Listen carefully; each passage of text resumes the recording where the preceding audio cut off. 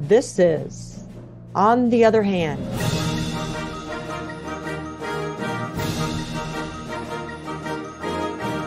A podcast sponsored by Braver Angels in Arkansas that explores politics and other issues of importance to Arkansans through conversations with community leaders. Stay with us as we talk to another leader in Arkansas who works across differences to get things done and to bring us closer together. Hello, and welcome to On the Other Hand. I'm your host, Glenn White. I'm here with my co host, April Chatham Carpenter. So I hope you're ready for today's conversation with a community leader in Arkansas who helps work towards solutions. So, April, uh, how about it? Who do we talk to today?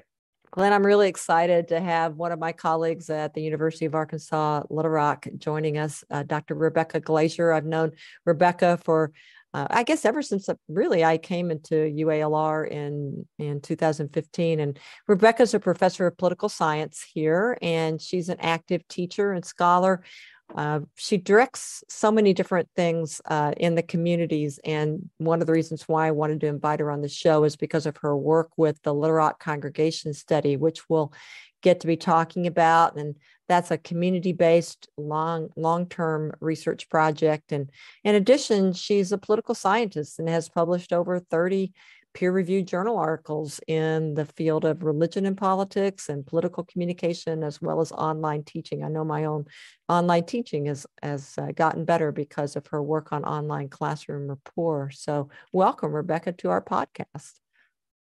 Thank you so much. It's such a pleasure to be here. Yeah. So, Rebecca, we kind of usually start these out by talking a little bit about what you're up to these days. I know you just got back from a study abroad trip to Spain with, with students, and uh, you also worked, I think, last semester. I saw some good press releases about your work with the Model Arab League on campus. So, what are you working on these days related to political communication in particular? Yes, thank you so much. Uh, working with students is close to my heart and I love doing it. And um, we just got back from Spain, and it's always such a joy to get to travel with students and to take them to new places and to help them see the world through new perspectives. So that's something that brings me a lot of joy for sure. In terms of political communication, one thing that I'm working on right now is a project with my research team through the Little Rock Congregation Study. We just did uh, an event in the community where we brought a bunch of people together from the community from all diverse perspectives and walks of life. And we paired them up one on one to have conversations about important community issues. And they were together with their partner, their conversation partner, for about an hour. And they talked a little bit about their own background. And then we had these prompts where they would talk about issues in the community and their own perspectives on them. And because I'm a political scientist, a social scientist, uh, we had constructed this as an experiment. So some of the pairs, people shared a religious background, and in some of the pairs, they shared a racial background. And in some of the pairs, they didn't have anything in common at all. So right now, my research team is looking through that data to see if having those commonalities affected the outcomes of these conversations or how people felt in having the conversations. I will talk more about that study a little bit, but I'm just curious, real quick. Have you found any initial findings that uh, have surprised you? Well, one thing which we found right away, which I'm excited about, but also, you know, as a social scientist, a little concerned about as we do further data, data analysis, is that the response was overwhelmingly positive. People loved having these one on one conversations. And that is fantastic news that they really enjoyed talking with their conversation partner. Um, we asked them about what the experience was like overall, and it was almost to a person that they had, they were maxing out how positive the experience was. But as a social scientist, I would like a little variability in my outcomes so that I can see what's making a difference in how people are responding. Um, we did do some follow up interviews. So we're hoping to get some qualitative data to understand more deeply the people who maybe were talking with someone from the similar racial background or similar religious background, if that mattered to them in the conversation and if that changed the things that they disclosed or the things that they talked about or how they felt in that conversation. So that should give us a little bit deeper understanding than just the statistics. But in terms of the statistics, people had an overwhelmingly positive experience talking one-on-one with their conversation partners. Oh, that's interesting. And and we'll again probably get more into what causes us to avoid maybe talking to each other across the political aisle later in the interview. Uh, but I think when we do sometimes talk to people, we realize it's not as it's not as scary as we thought, uh, maybe perhaps initially, uh, you know. But so I ask you, I'm going to ask one general question, and then we'll get into kind of more of a range of questions about your your work with the Little Rock Congregation Study and other things as well. But what do you think um, produces that expectation of friction between people and groups who differ politically? What what kinds of things precipitate that friction? Yeah, this is such a big question. And as a political scientist, it is one that I have thought a lot about. And I think that it comes down to something that is sometimes just innate in us as human beings. And this is the tendency we have to create in groups and out groups. So, in political science, uh, in, in sociology, sometimes we talk about this as social identity theory that a lot of times we try to look at our group, people who are like us, as our in group, and then people who are not like us as an out group. And we try to give positive attributes to people who are in our in group and negative attributes to people who are in our out group. And for a variety of reasons, political identity, what political party we affiliate with, has become more and more important to how we see ourselves as people.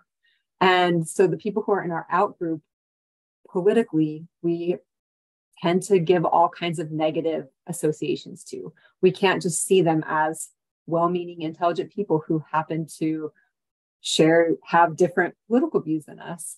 Instead, we see them as people who are fundamentally wrong and bad people. Um, and that is really troublesome.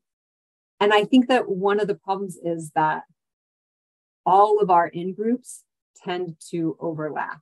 So more and more we're becoming siloed so that our political in group, all the people who share political views, is one in group, but all of our church in group overlaps with our political in group.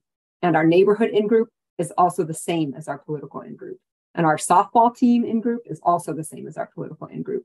So if we don't have any cross cutting cleavages, as we would talk about in political science, if we don't cross cut those in groups, if we don't see people from different political groups in our, you know, education in group or our friend in group or our church in group, then we're going to think that everyone outside of our political in group is bad. But if we come into contact with people from a different political viewpoint in one of our other in groups, like our bowling league in group, then we have a chance to see the other side as potentially good, well meaning people. But we're having fewer and fewer opportunities to come into contact with people from our political outgroups. Thus, your dialogue groups that you just had provided some of those opportunities. Exactly. That's what I was thinking too. So, Rebecca, in our podcast, we try to talk to community leaders, as, as you heard, who are in some way trying to reach across various divides in their society and, and with an intent, hopefully, of working toward the common good. So I understand that you've had some uh, chances to do some work like that, uh, working with people who differ from you politically in other ways. And uh, the thing I've heard, you know, April talk about is the Little Rock Congregation Study. And I wonder if you could kind of share with us a little bit about that uh, project, what it's about, kind of give us a little details that relates to the topic for today.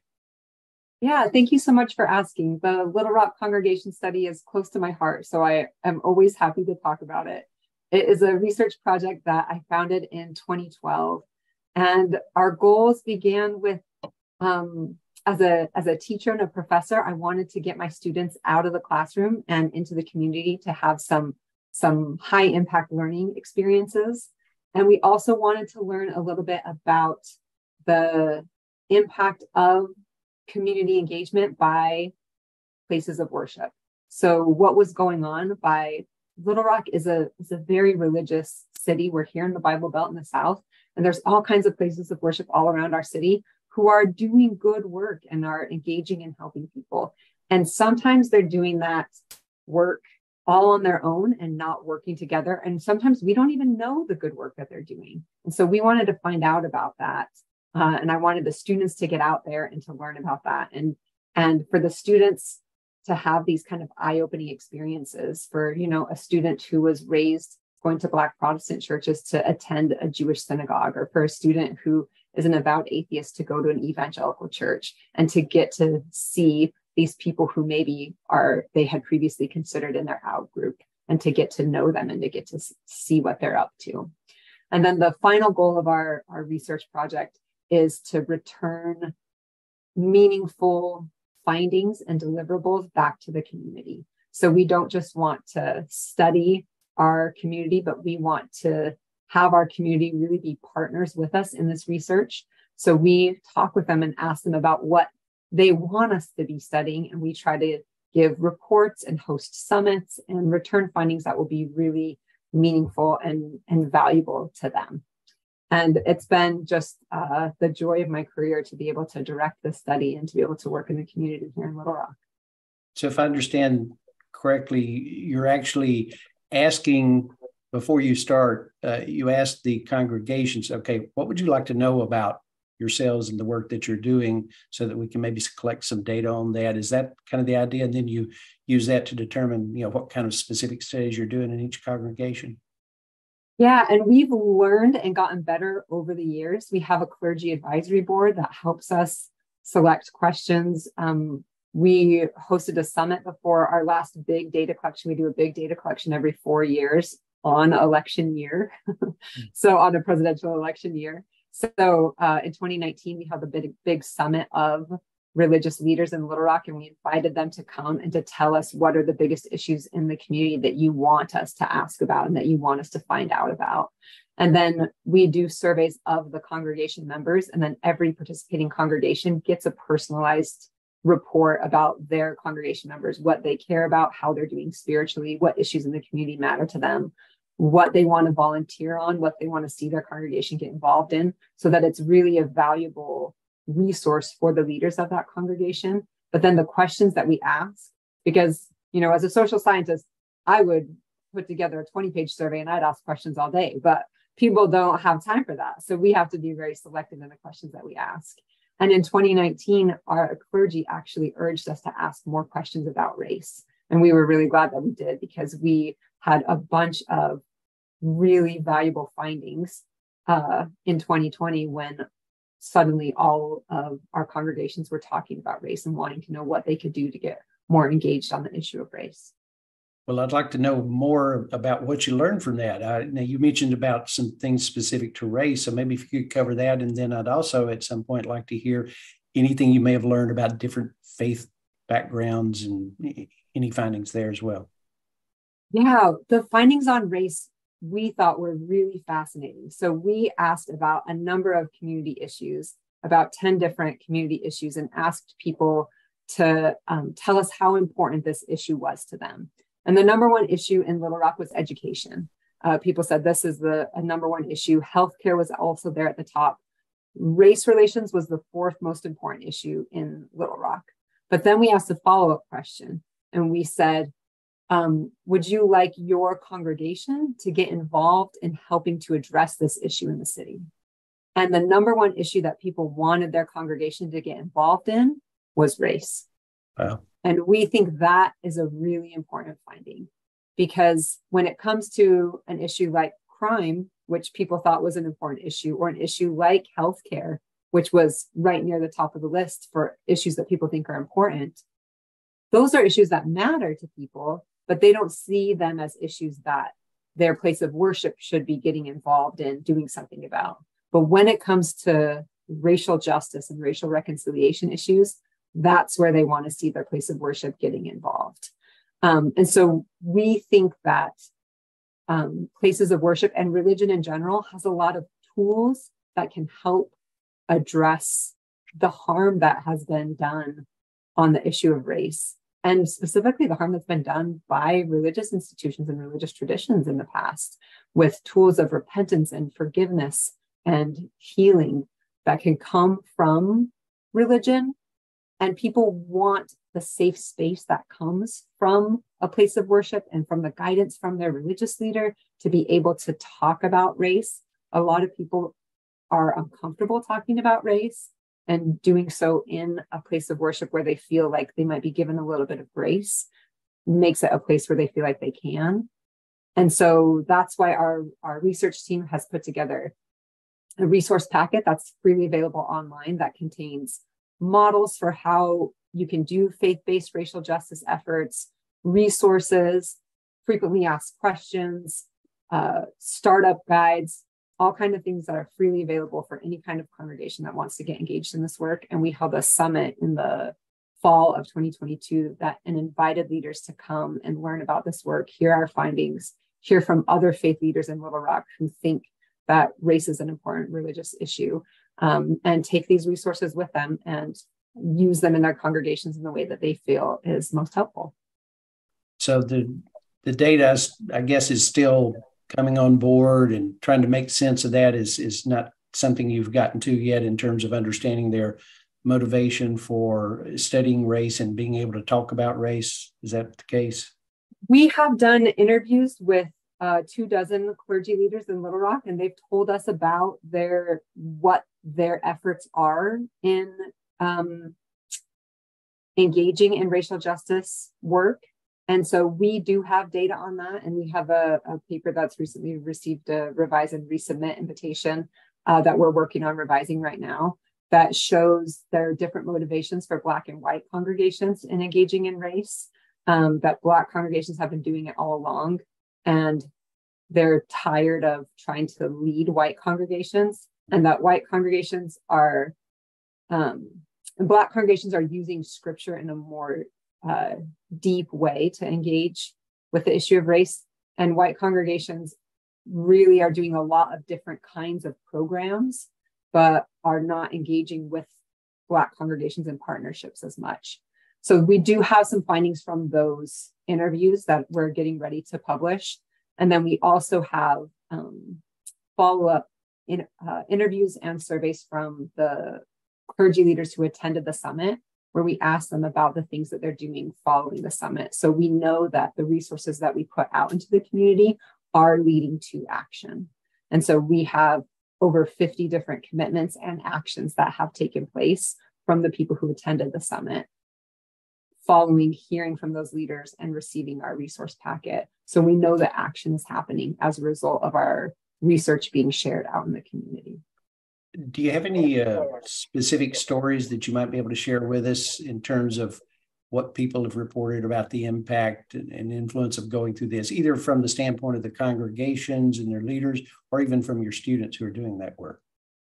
Yeah, thank you so much for asking. Um, one thing I know uh, from a, a white clergy leader had told me after this event that he had been serving in Little Rock for I think about seven or eight years. And he said that he hadn't been able to connect with any Black clergy in a meaningful way. But following our summit, where we had had clergy leaders seated at tables of four, and we had had some questions over lunch, they had talked with one another and about race and had some questions on the table. Things like, what was the first time that you realized your own racial identity and what was that experience like for you? And so they were sharing personal experiences of race. And he said it was only through connecting with another black clergy member over that lunch that i made my first real lasting friendship and connection with a black clergy member in this city and so I was I was really happy to hear that because even if all that happened is that relationships were built, I think that is really meaningful. But we also heard about people who are now um, using a, a racial frame when they're talking about scriptures or choosing to say something about race in their sermons, not just on you know, Martin Luther King Day or on Juneteenth, but bringing up race more often when they're talking in their sermons, and people who have created um, committees at their churches to look at the racial history of their churches. So we've been excited to hear those kinds of stories about real, real action being taken by the clergy here in Little Rock. Yeah, so that's amazing. I, I had forgotten that you've been involved in that work since 2012. And that really one of the things that led you into that work uh, was to get your students out um, and get it, them out of their own comfort zone, kind of getting them to experience out groups as well. Um, do you have a story that you can remember from a student that crossed that religious divide and found change as a result? Yeah, I always love reading the student evaluation comments at the at the end of the semester and the students I think maybe because those are anonymous, maybe they feel a little more free to to say their experiences, but they'll say something like I had definitely never been to a Mormon congregation before, but the people were so welcoming or I really enjoyed the the beauty of attending the Shabbat service at at the Jewish temple. And I'd never been to something like that. And it really opened my eyes to, to this, this community and how beautiful this community was. So hearing the, and sometimes students will say, like, I had a really negative experience with religion growing up, but when I went to this service, the people were really kind and welcoming to me. And I can see how this is a positive thing for other people, even though it wasn't positive for me. Interesting. So they're willing already to be looking into embracing the idea of difference and being able to get out of their own silos and in groups. I think that's something that we all need to be doing. So thank you for bringing that up as kind of an example of of what you do. Well, I know that you're a professor and uh, you obviously are in the political science area, and I'm I'm curious. I've actually never, even though I've known you, I've never asked you about this uh, your journey that led you to becoming a professor and and getting interested in politics in the first place. What what kinds of experiences led you into this particular part of your life? Oh, thanks so much for asking. You know, I when I went to college, I took a class on international relations, and that's where I fell in love with political science and just the there's such a big world out there. And I just wanted to know more about how countries are interacting with each other and why do they go to war and what leads to agreements and how does peace happen um, and that those were the big questions about international politics that i really got excited about um, and uh, no one in my family has a college degree so i didn't really know anything about graduate school i literally had a professor say to me have you thought about graduate school? And I said, What's graduate school? and when they explained it to me, I was so excited.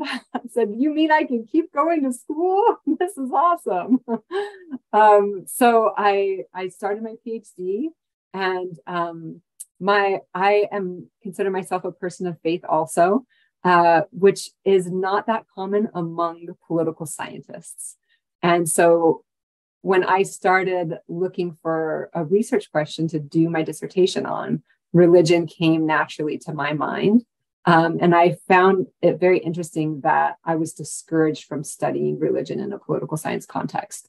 But a lot of people said religion doesn't matter for politics, or religion is just what people say they're doing when really it's about material interests. Um, and I I didn't believe that. I said from from my experience and from a lot of people I know, their religion really sincerely influences the decisions that they make in many places in their lives, including the way that they um, think about politics and think about the the choices in their lives every day. And so um, that's what I uh, decided to study. And actually, the work that I partially built my dissertation on was about um, religion's influence on foreign policy decision making. And then I did some work on international uh, peacemakers, how people are motivated to, to work in, in protracted conflicts internationally and by religion to try to bring peace to those conflicts. Uh, and then here in Little Rock, what I was thinking in part as I as I sent students out into the in the world to meet these congregations was there are people doing peacemaking work right here in our own city. And we might not think of it in the same way as people who are doing peacemaking work in international conflicts, but they are trying to bring peace to our community um, by addressing hunger, by addressing homelessness, by helping children in need. Um, and they're motivated by their faith as well. And let's try to understand better what's happening here because it has political implications. Uh, interesting. And I know you and I have not ever had this conversation about religion and politics, but so much of media coverage, especially on the conservative side of things, has, I think, really looked at the connection of religion and politics in a negative way. Uh, more recently, perhaps, as the nationalism, Christian nationalism, kind of has been a uh, a term that's been used. Um, but you're talking about the positive impact of religion on politics uh, and and how we can work in the peacemaking and and helping other people uh, and so I'm I, I, find that I find that interesting and, and, engaging. How do you see religion and politics working together uh, in our in our nation and state? Um, as you've been doing this continued research from your dissertation all the way to the local level. Yeah, there's this important concept in religion and politics called the ambivalence of the sacred that Scott Appleby, a researcher, um, popularized.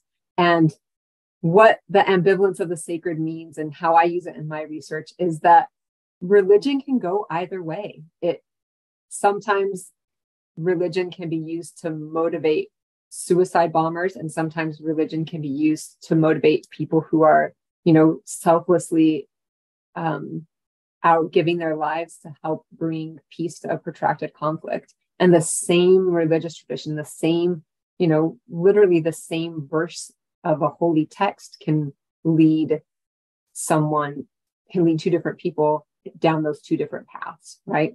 So religion is sacred things have ambivalence to them. And so I think religion goes both ways, and it goes both ways in religion and politics today. I think that there there are ways that religion is is manipulated and, and used in negative ways. I think there are clearly ways that um, religion has has led to division and to racism and to oppression. And I think that there are ways that religion can lead to healing and to unity and to, to positive outcomes in our communities.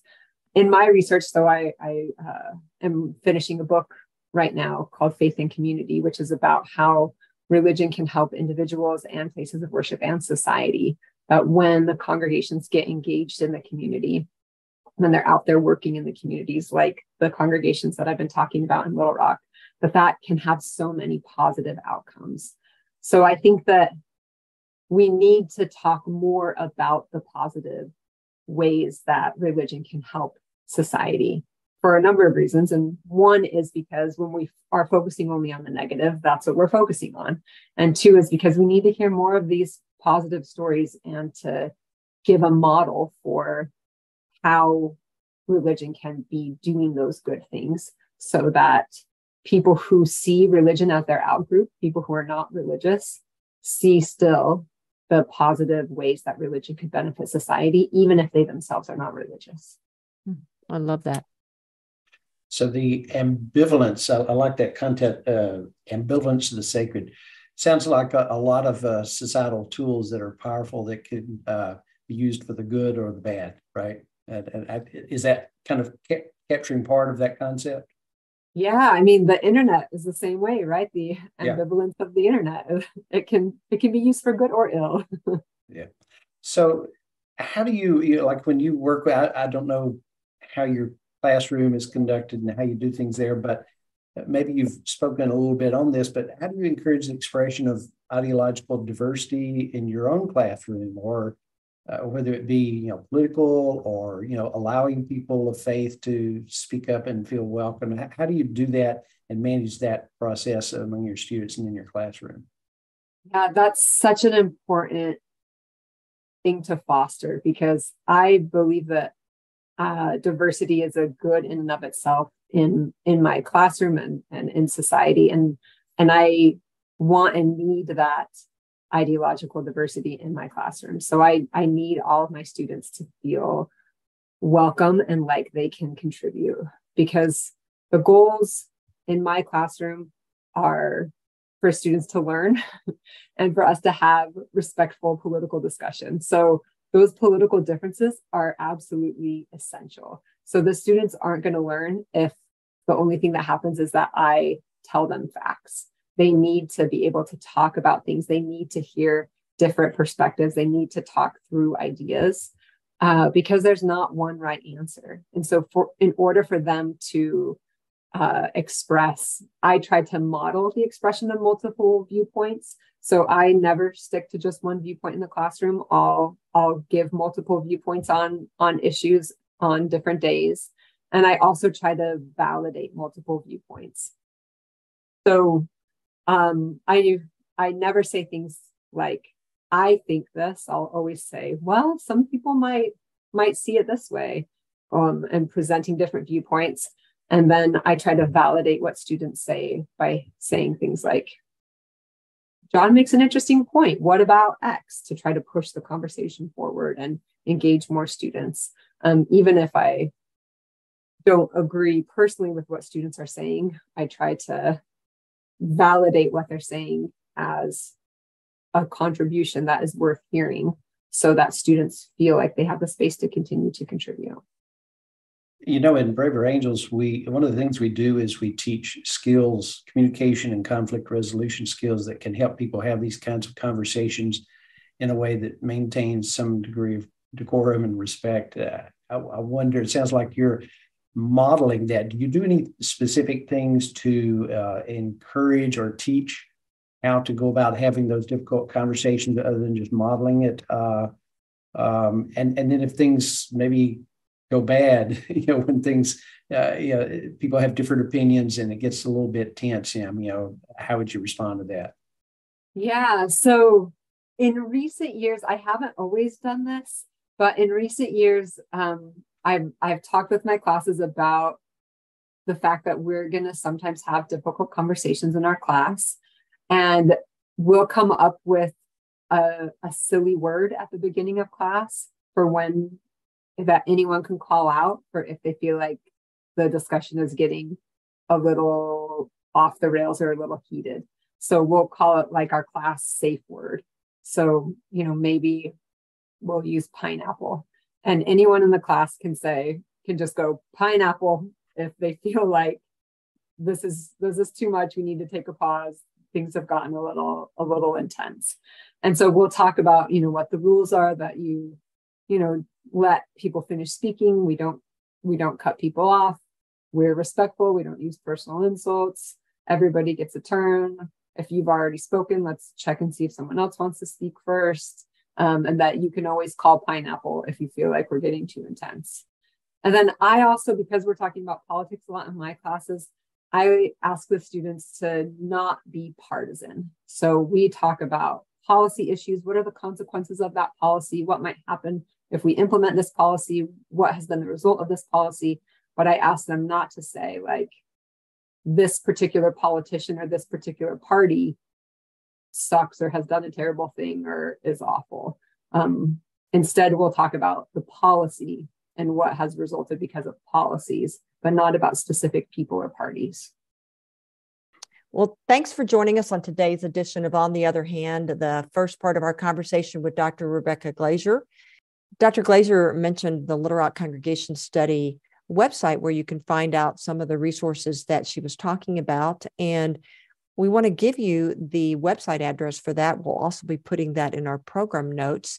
And you can actually find that by going to this address, research.ualr.edu slash LRCS, which are the initials for Little Rock Congregation Study.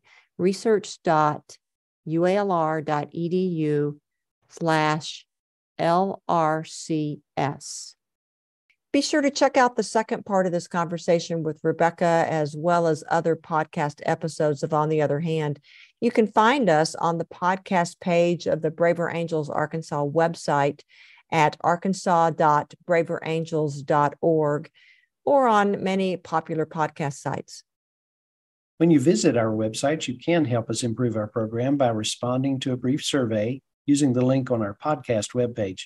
You can also email us for program or speaker ideas or other feedback at otherhandar at gmail.com. That's otherhandar at gmail.com. On the other hand, is sponsored by Braver Angels in Arkansas. Music was composed by Randall Standridge of Jonesboro, Arkansas, and was performed by the University of Northern Colorado Symphonic Band. Dr. Richard Mayne, conductor. From your host, Glenn White, and April Chatham Carpenter, let's each do our part to bring our community closer together.